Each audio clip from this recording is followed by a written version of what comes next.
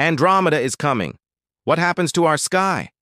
Andromeda is a spiral galaxy that's 2.5 million light years away. It's the closest major galaxy to ours. And in about 4 billion years, it's going to crash into the Milky Way.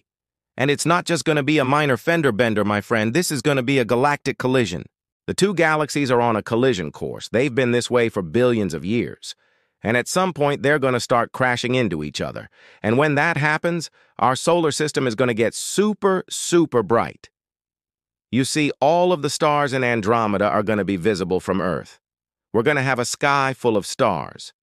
But it's not just stars we'll be able to see.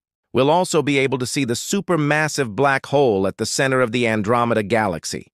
It's going to be bigger than the moon and brighter than the sun. What happens next is anyone's guess. Will our solar system be flung out into the darkness? Will we be consumed by the black hole? Or will we be thrown back into the Milky Way?